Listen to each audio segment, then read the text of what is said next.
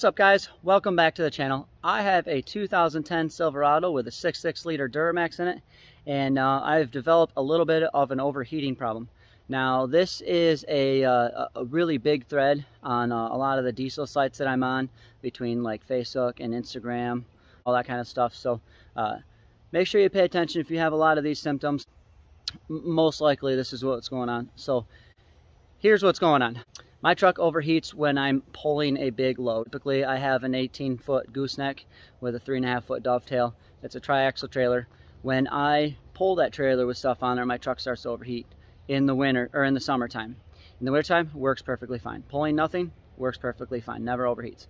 So usually what happens is, is your radiator gets clogged or your intercooler gets clogged, your AC coils get clogged, and those all need air to go through it. So what's happening is is that it's working just fine. It's getting enough air by itself when it's driving by itself but it's not getting enough air when it really really needs it when it needs to work hard. So so let's go brandon. I'll take you guys for a ride and i'll show you what i'm talking about. So it's about 89 degrees and as you can see we're pulling about 8,000 pounds probably a three or 4,000 pound trailer. Um, we're going upgrade right now but she's getting a little bit warm and as you can see in the gauge here she's a little bit off the number operating temperature so we're going to change that radiator or clean out the radiator. See how that does. And that's no good. So uh, when I actually put the camera down I went up another hill went up to about 245 250 is is pretty scary. So I actually pulled off this side got lunch. We filled up the truck just to let her to cool down itself. So uh, that's what's going on. It's just simply not getting enough airflow when it needs the power. It's going to generate a lot more heat and it needs to cool itself off a little bit better. If you're not getting the airflow, then unfortunately it's not going to cool down as well. That's why I'm not seeing the problem when I'm just driving by myself. Let's get started. I'll show you guys what we're going to do. All right, first what we're going to do is we're going to drain the coolant so while it's draining we can get everything else out of the way. But we got to get this inner fender wall out on this side and on the other side. Seven millimeter bolts all the way around up top. There is a 13 millimeter bolt down here holding it on. If you have factory mud flaps, I don't have them on right now, so I don't have to remove that bolt. The rest are just the standard little pop clips. So you got one right here. Just use a flathead screwdriver, just push it in there, pull them right out. And you should be all squared away. So I'm gonna get this out here real quick, show you how to drain this thing.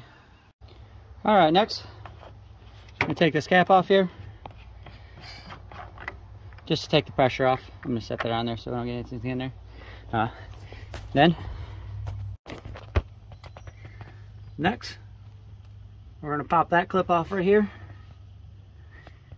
And then it should start draining all of the coolant. I wish they had an actual drain on the radiator like most vehicles, but unfortunately GM did not throw that in there for us. So we'll take that off and we should start draining it. All right, so I'm gonna take this thing off. Uh, it's pretty simple. It's just got two clips right there. And then that hole here on the left uh, just holds that wire harness in there. That way it's not spilling all over. Alright, this clip just pops right out. These little pick tools are pretty nice. Don't lose this.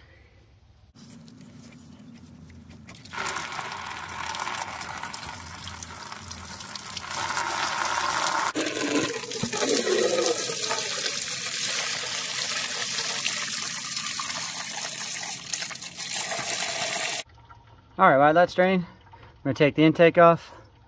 These bolts right here, 7 16ths, just come right out. Um, if you have an aftermarket one, most likely you have one of these.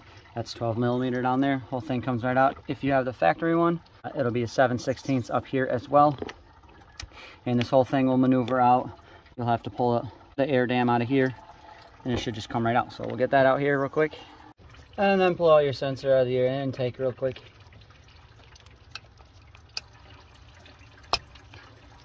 Comes out nice and easy. You just push this thing down, pulls it right out. Sometimes you gotta wiggle it. All right, I can't believe that's still draining. I had to switch out the pails, but I already don't have enough coolant, so I'll run and go get some more. But either way, we'll keep moving on while that's draining. Next, we're gonna take this whole thing out right here. Uh, and this is for the factory air box. Uh, there's one, two, three, four 10 millimeter bolts there. There is a 10 millimeter bolt right there. There's this black clip we got to pull out because this comes out in two sections. I think we can just take the bottom part out, but I'm going to take both of them out just for ease of this video. And then when we come down here, we got one bolt there, another one up there, and this whole thing should pop right out. So we'll pull that out real quick. Don't mind the mess. I have not mounted these yet since we put the new headlights in a while back ago. So I'll get that out. Keep going on. All right, next we gotta get all this stuff out of the way. So 7 16 to pull this all out. And on your intercooler, you got a clip right here, just a flathead or a pick. You can clip this thing out. It's just like the radiator one, just a little bit bigger. If you have the uh, factory uh, EGR system, you'll have another clip just like this, but it'll be up here connected to your EGR. We'll pull all those out and looking at the room, I think just for ease of this video to get everything out so you guys can see this, I think I'm gonna pull the whole charge pipe off too.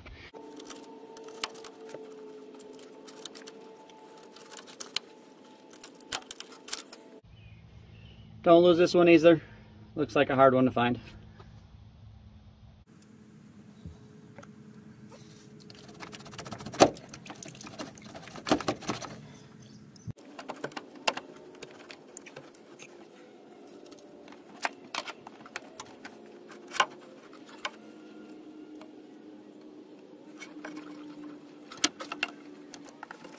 All right, now that that is all out, looking pretty good. Got a lot of area over there.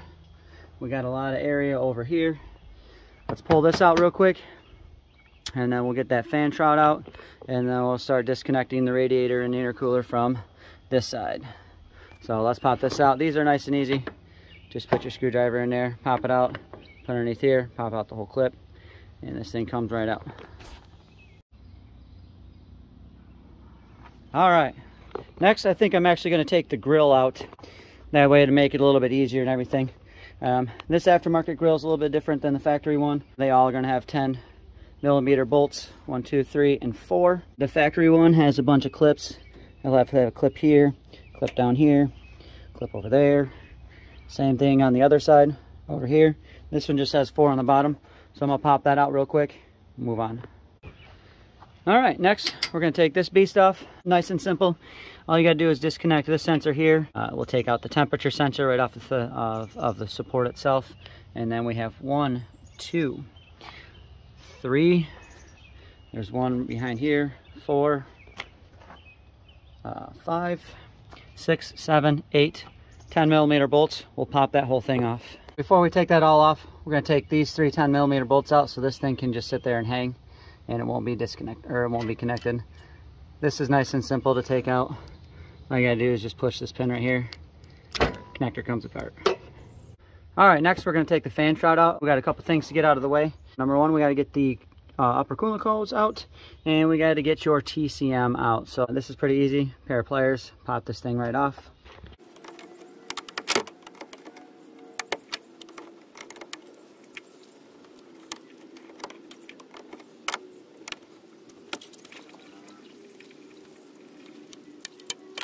A funny thing about this, um, I'm surprised people didn't notice, but this is the wire that I have that goes to my switch for my EFI Live.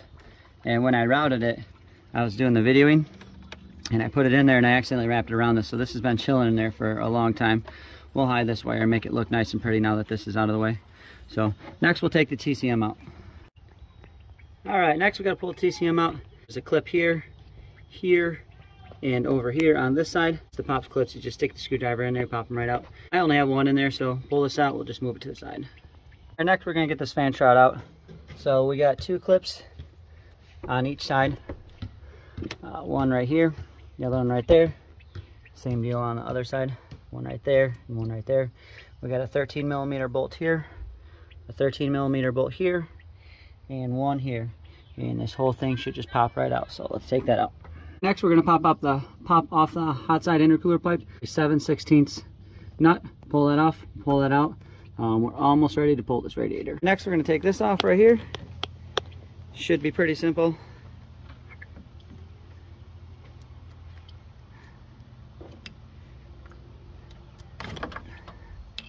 Pull that off. We'll set that to the side. And then next, let's get these transmission clips. All right, next we're gonna pull the trans lines. We got one here, and we got one all the way down here. Uh, these are pretty simple to do. You just wanna be very careful because a coolant running through there uh, for your trans. Just a simple pick, we'll pop these right out as well.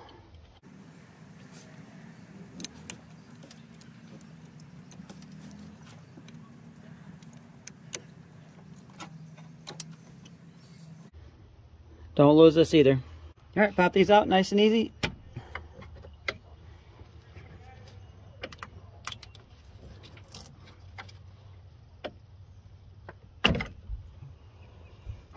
Like I said, you want to be careful with popping those out. So we'll be careful when we pull this out. We don't need to move it all out.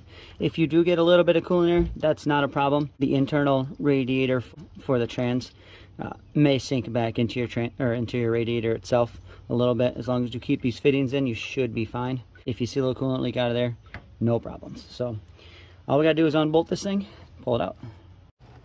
All right, now let's get the bolts out. Let's get this radiator out. We have one bolt right here we got one bolt, take it all the way down here. We got one bolt right there. On the other side, we got a bolt right here, just by the battery. And then we got another bolt right up here, right there, right above the actual, the intercooler where the boot comes in. Those are 13 millimeter. We'll pull those out and then theoretically, I believe we have everything out. We should be able to pull this radiator out.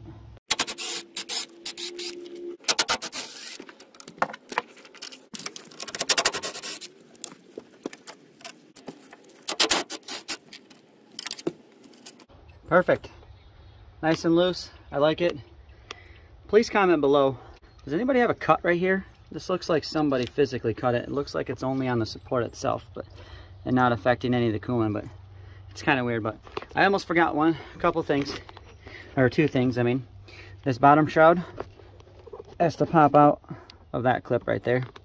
Same with the one over here on this side.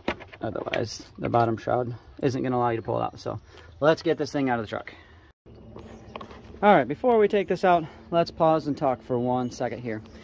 Here's our transcooler and it looks like I got something hit that which isn't too big of a deal. It actually looks fairly clean. That's probably why when I'm going down the road and the truck's overheating the trans isn't. I mean it's getting warm but it, it's not too bad. The black radiator here zoom out. The black radiator here that is your AC condenser radiator. So I'm just gonna move that a little bit out of the way when I clean everything all out. But as you can see that's starting to get a little bit clogged here. Next one the silver one here is your intercooler. Once that starts getting clogged and you can see that I'm getting some fins there, I got some nice pretty bugs over here, you know, riddling with that. Now I cleaned this two years ago. Last one, final, and as you can see that I'm cracked, it's pretty plugged right here, right where the fan's pulling everything out. That's your radiator for the truck, where all the coolant is. So you need air to go through every single one of these to cool your truck off. So that's why I'm pulling this thing out. We're gonna get this thing actually out we're to actually inspect it, make sure we don't have any leaks. I don't think we do. We're to clean it all out. Um, but like I said, it's got to pull all the air right through there. And that's why it's getting clogged. It's not getting enough airflow. When I'm driving down the road, just fine. Nothing pulling, nothing, nothing heavy. We're doing great. Start pulling the big boy trailer. That's when we're overheating. So let's get this out.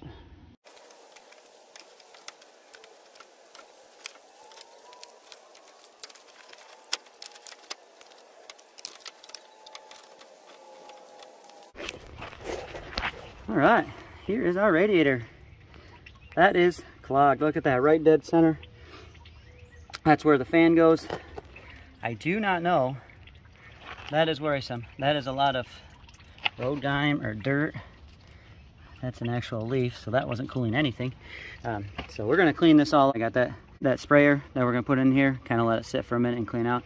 If I zoom in, I mean, I don't know if the camera can actually pick this up, but we can't even see through it. Like, that's pretty bad. Perfect. I'm gonna try to get this intercooler out, I believe, looking at this thing. 10 millimeter bolt, 10 millimeter bolt, and a little bit of finagging because it's a little bit wider than the radiator. I think this whole thing will just pull right out and then we can clean the AC, which I'm not having an issue with. If you're sitting at an intersection, your AC starts warming up and it's not as cold, very, very good sign that this thing is freezing, or I'm sorry, uh, clogged. We'll disconnect that, we'll be able to clean the AC out, and uh, we'll see if we get this radiator out here, take those two bolts out. All right, my mistake. These 10 millimeter bolts actually hold the AC unit in, so all we gotta do is pull it out, lift it up. I'll do that here in a minute to move it out of the way. The bolts that actually take that out these bad boys right here 13. And we'll move over to the other side, number 13. So pull those out. Now the intercooler should come out. All right, trying to get this out. AC lines completely wrecked me because I can't get it out there. It's blocked right here. I gotta get it around or I gotta take my ECM out, which I'm not going to do. So we're gonna move the AC out. We're gonna move it over. Move it over just enough and out a little bit so all these lines will move. Okay, I still can't get this out with this thing here. So this is what we're gonna do. We're gonna take the belt off here. We're gonna disconnect the AC unit. One, two, three, and four uh, 15 millimeter bolts. We're gonna pull this off this side. It's gonna give us all kinds of room here. Thing's gonna come right out. We won't have to move that at all. Should be nice and easy. Let's try it. All right, success. That's what it feels like. Feels pretty good. This one doesn't look to be too blocked. You definitely can't see through the whole thing and you definitely should be able to. So I don't know what this is. This is kind of concerning because this was also on the radiator. It kind of feels like a leak. Maybe it's just road grind down at the bottom, but moving the AC unit just a little bit out of the way so I can move it out so it wasn't hitting any of that stuff. We got her all out. So let's clean everything.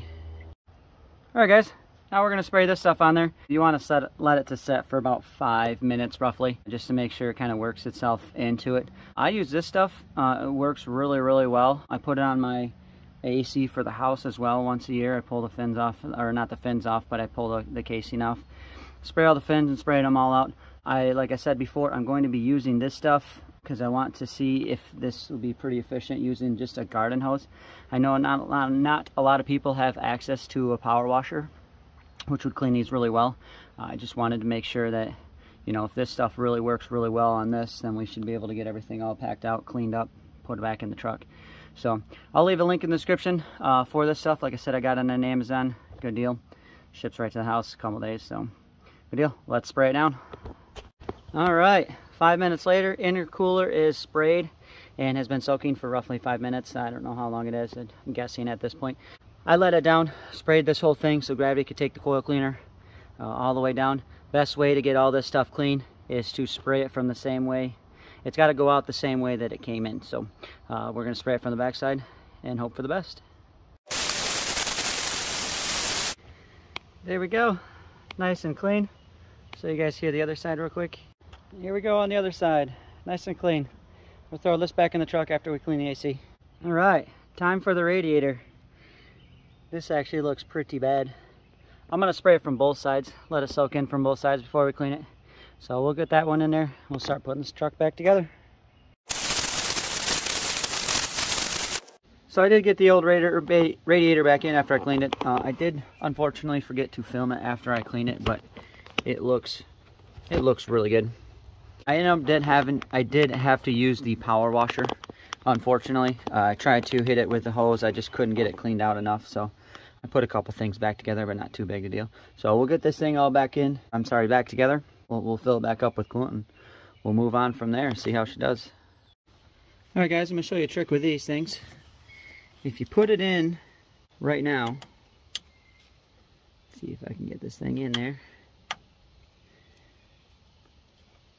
just like it's supposed to be, these lines will just slide right in, clip into place.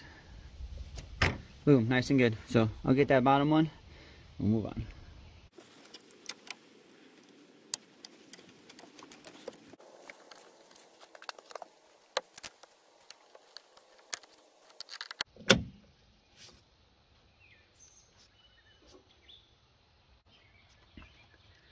Alright guys, put this lower radiator on the hose on. Make sure you pregame it as well.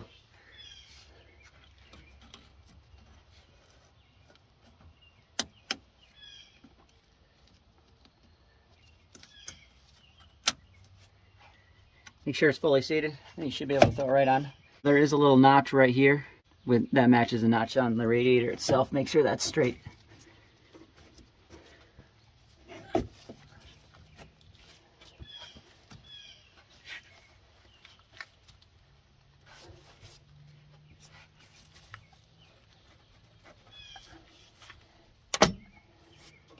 clip into place. That thing's not going anywhere. Perfect. Let's get the air in now. All right, now for this, same deal, just pregame it and uh, you get it in there, it'll be nice and easy. See if I can do this with one hand. Maybe.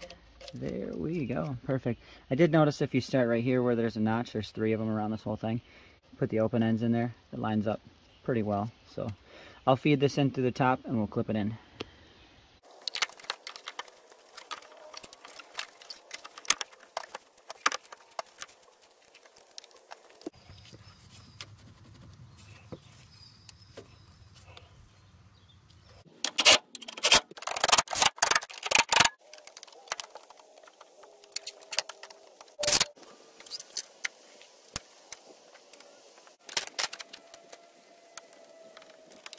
All right, everything is all set. Time to pour it in.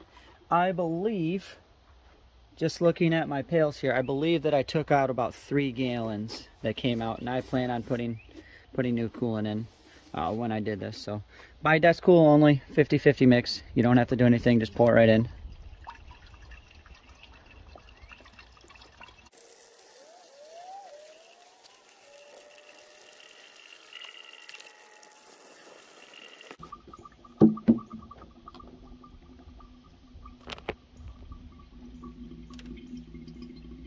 Here bubbling, that's everything coming out. So I'll fill it the rest of the way. I think I need another gallon, so I'll have to run to the store, which isn't too big of a deal. But we'll put that second one in.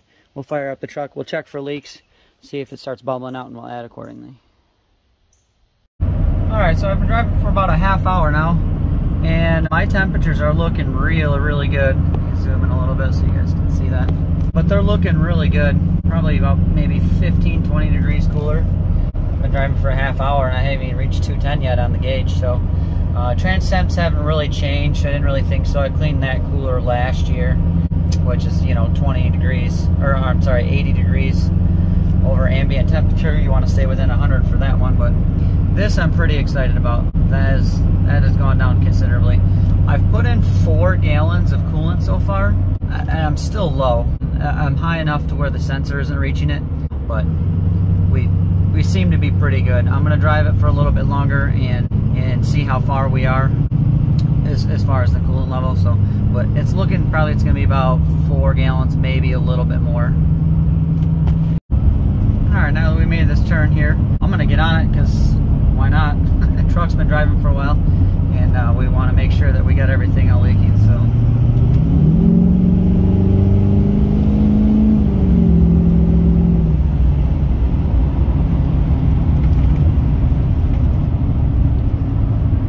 Temperatures rise a little bit, but that's fine. They'll come right back down. Done that a couple of times just to make sure all my boost boots are, uh, or, or my air boots are all good. But yep, she's looking pretty good. And temperature's right back to normal, so I think we're doing a pretty good job. I'll top her off again. I'll take her for another test drive. Best best way to, to uh, purge out the system, purge out all air is just simply drive it. Don't go too far from home and don't be super crazy until you can see that your temperatures are not spiking a lot. Mine are still spiking, so I can see that I still have a lot of air in the system. All right, here we are next day. I added about another half a gallon of coolant. So far, I've, I've done about four and a half gallons, maybe just a little bit more. And uh, temperatures seem to be pretty good. I don't know if this is the correct way to purge it or not, but it seems to be the best way that I have found. I uh, did this when I did my EGR deletes. I just topped everything all off, let all the air cool out, and uh, uh, or the air bubble out, and then I just kept adding coolant as I drove the truck. I have a coolant, uh, gallon of coolant behind me in the truck, so in case you know it gets low or whatever. But we seem to be pretty good. put it to the floor here real quick.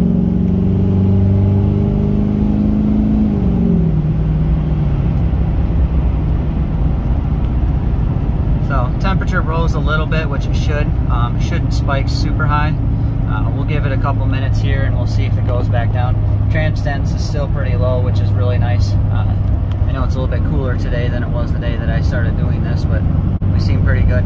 We got it to 174 and she's already climbing down already too. I also have a trailer behind me.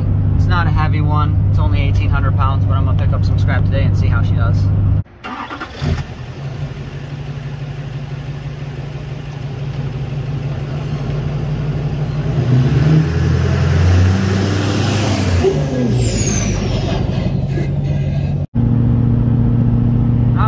I know we got some good weight in there. So we're sitting at 188. We've been sitting between that, between that, and uh, 186 for the last like two miles. And uh, you can see my fuel economy is just plummeted. It's just completely cut in half. So I don't know how much these things weigh. They're they're fairly heavy, but we'll we'll check out the scrapyard see how much they actually are. But uh, our, our, our temperatures are looking pretty good. Trans is staying nice and true at 80 degrees above ambient temperature. So good deal. Let's run through that scrapyard, see how much weight we're pulling. Right, now that we're back in the truck and on the way home, nothing in the trailer. Temps are looking really nice. Back to the good fuel economy. Uh, that weight was 1,380 pounds, so I had almost 3,600 pounds just between the trailer and the weight that I had in there. So pretty happy.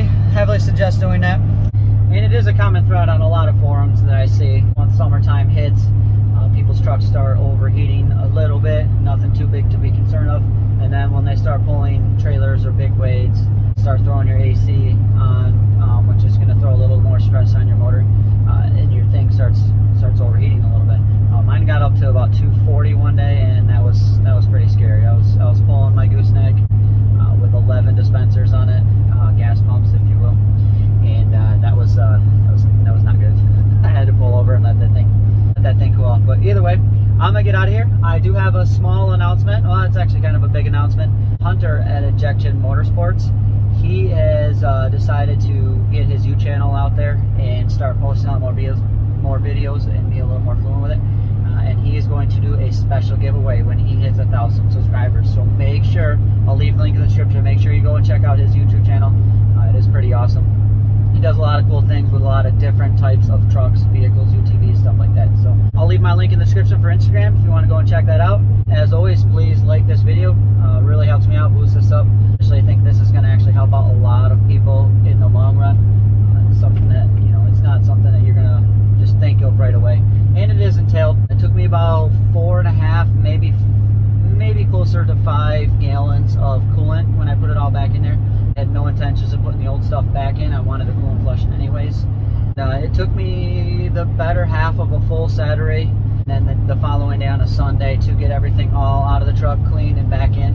Now, mind you, it does take a little bit longer when you're filming. Take that in mind. I would say probably start to finish, probably just block out the most part of the day and you should be all squared away back on the road.